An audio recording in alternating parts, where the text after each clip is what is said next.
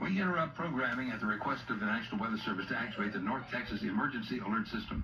The National Weather Service has issued new severe thunderstorm warnings for southwestern Dallas County and for Ellis County until 8 o'clock. The severe thunderstorm complex is located near Ovilla, Glen Heights area, moving southeast to 25 miles per hour on a direct path toward Red Oak and Palmer.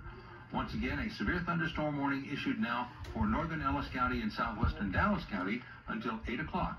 A severe thunderstorm is located near the Glen Heights area, moving southeast to 25 miles per hour. It will be impacting you also on I-35 south of Lancaster and north of Waxahachie. Could produce some two-inch hail, also capable of producing torrential rain and 60 mile per hour winds in northern Ellis County.